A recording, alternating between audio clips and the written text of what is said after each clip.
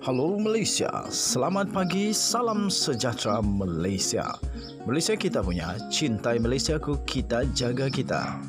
Sebelum kita mulakan berita hangat pada hari ini, untuk anda yang baru pertama kali, silalah untuk sudi tekan butang subscribe, like dan share.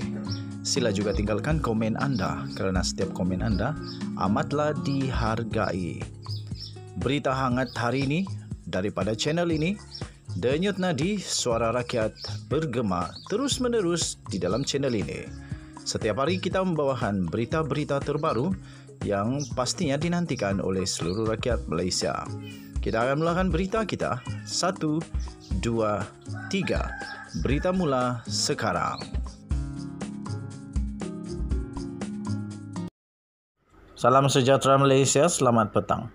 Berita terkini yang menggemparkan seluruh Malaysia daripada malaysiakini.com bertajuk Kes Rosma. Polis rekodkan kenyataan empat pegawai mahkamah 29 Ogos 2022. Berita penuh. Empat individu sudah dirakam percakapan mereka ekoran siasatan yang dijalankan polis berhubung kebocoran draft yang berkaitan dan dikaitkan dengan perbicaraan kes Rosma Mansur. Kata Ketua Polis Daerah Sentul ACP Beh Eng Lai, mereka yang diambil keterangan itu merupakan pegawai undang-undang mahkamah. Tambahnya, siasatan lanjut sedang dijalankan berhubung kes tersebut katanya seperti yang dipetik oleh utusan online pada hari ini.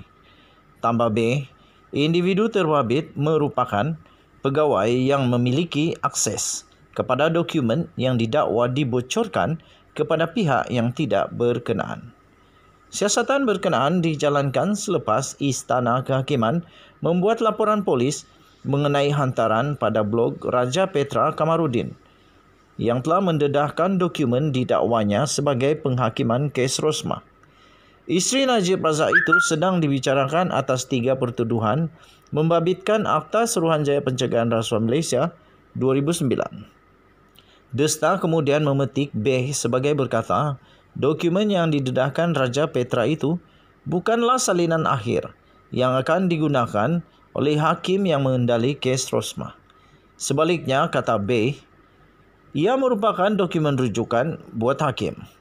Menurut B, kes tersebut disiasat mengikut Seksyen 8 Akta Rahsia Rasmi 1972 yang berkaitan kesalahan membocorkan maklumat selain Seksyen 203A Kanun Kesiksaan dan Seksyen 233 Akta Komunikasi dan Multimedia 1998. Sekian berita. Berita ini dipetik daripada malaysiakini.com. Kita jumpa lagi. Jangan lupa tekan butang subscribe, like dan share. Malaysia kita punya, cintai Malaysia aku, kita jaga kita. Kita jumpa lagi. Bye-bye.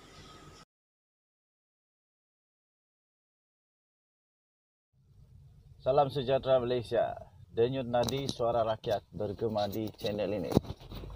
Aha, tuan-tuan dan puan-puan yang dihormati sekalian, ada satu dokumen laporan yang telah diterima daripada Malaysia kini bertarikh uh, kemarin 28 Ogos 2022. Tajuknya memang luar biasa hebat ini tuan-tuan dan puan-puan.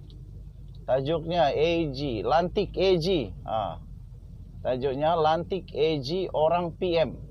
Kenyataan Azalina, kenyataan Azalina bukti AMNO tak insaf kata Razi. Ai. Azalina ni timbalan speaker. Tapi kalau dia cakap macam begini, menurut Razi itu adalah satu perkara yang menunjukkan bahawa AMNO uh, tak insaf-insaf lagi. Okey, jadi AMNO tidak pernah insaf meskipun pernah diuji dengan hilang sokongan pada pilihan raya umum PRU ke-14 yang lalu kata naib presiden bersatu iaitu Muhammad Razi Jidin. Ah, ini daripada timbalan uh, presiden daripada timbalan presiden bersatu. Muhammad Razi mendakwa ini adalah bukti terbukti apabila ahli majlis kerja tertinggi AMNO AMT AMNO uh, uh, ahli Majlis Kerja Tertinggi AMNO Azalina Osman berkata pelantikan peguam negara AG adalah atas nasihat Perdana Menteri. Maka dia harus melantik orang dia untuk mudahkan segala urusan katanya lagi wow ini satu yang luar biasa mengejutkan ini. Okey. Kalau menurut Razi Jidin ini satu perkara yang uh, menunjukkan bahawa AMNO tak pernah nak insaf. Katanya kalau nak kenal itulah AMNO kita ingatkan AMNO sudah insaf bila kalah PRU 14 katanya. Dan mendapat peluang untuk berubah. Tapi itulah pendekatan AMNO kata Razi Jidin. Okey, tuan-tuan dan puan-puan yang dihormati sekalian, kamu setujukah kalau begitu lagi terjadi? Ha, ataupun mau buat satu perubahan? Tapi bagi saya, kalau selagi itu adalah hak Perdana Menteri, ha, dia boleh dia boleh apa tu dia boleh recommend lah dia boleh recommend uh, kemudian yang buat keputusan itu seterusnya uh, ikut prosedur lah kan?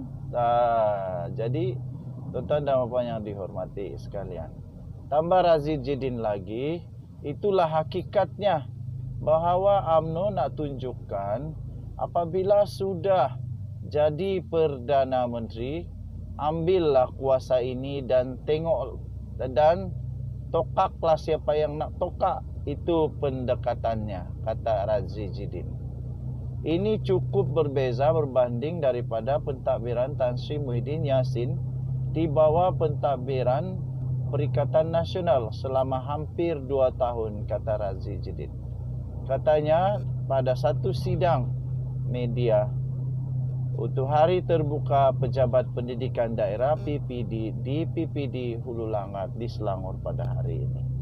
Okey tuan-tuan dan puan-puan yang dihormati sekalian, dilaporkan Azalina Osman iaitu timbalan speaker Dewan Rakyat ketika berucap pada taklimat khas di uh, WTC taklimat khas presiden di WTC semalam secara terbuka telah menyoal mengapa Ismail Sabri tidak memilih orang dia sebagai peguam negara.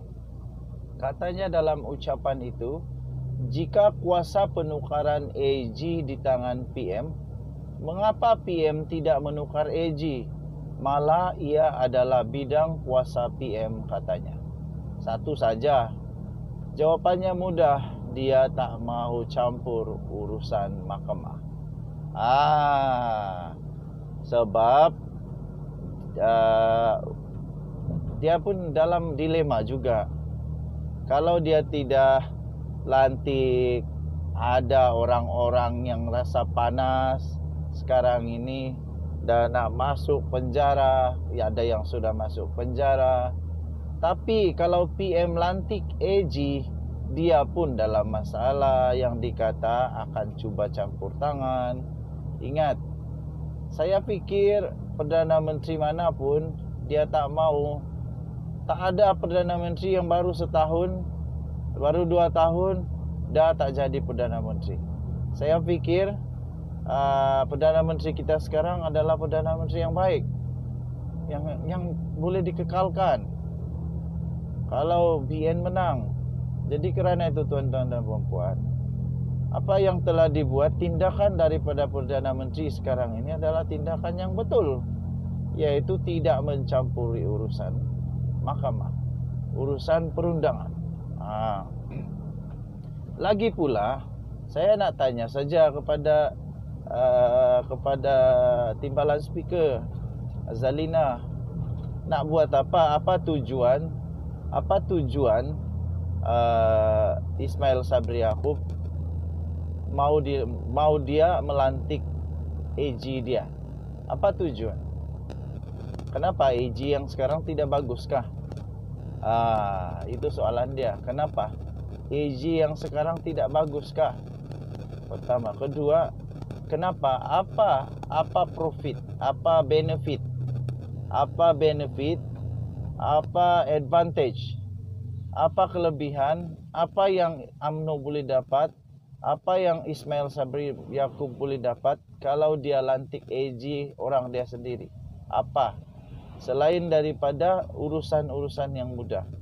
Uh, dapat dipermudahkan urusan. Apa lagi? Uh, saya fikir kalau untuk mempermudahkan urusan, Perdana Menteri dah cukup kuasa untuk mempermudahkan urusan. Jadi, apa yang perlu sangat AG uh, dilantik dari orang sendiri. Dan apa masalah AG yang ada sekarang? Okey apa? Yang AG sekarang. So um, tidak pastilah kenapa.